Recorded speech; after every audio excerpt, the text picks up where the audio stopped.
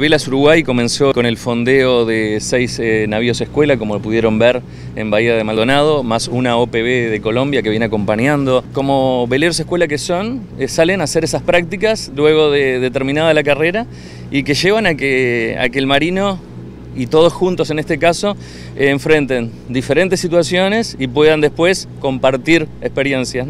Es un evento de camaradería, sí, en realidad, que comenzó eh, como parte de Velas Latinoamérica en Brasil el día 13 del mes de febrero y se va a continuar hasta el mes de junio, donde va a terminar en México. Eh, en Uruguay Va a eh, continuar esto con el día de mañana, que van a zarpar los buques hacia el puerto de Montevideo en formación, donde el presidente de la República, el doctor Lacalle Pou, va a pasar una revista a los mismos antes de llegar al puerto de Montevideo.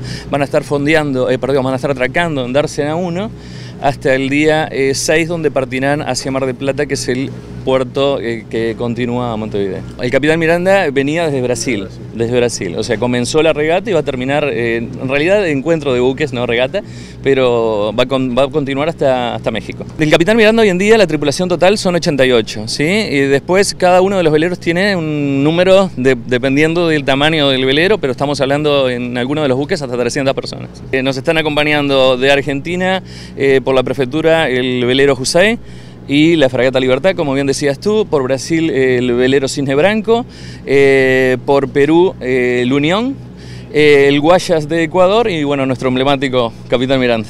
Intendencia de Maldonado, construyendo futuro.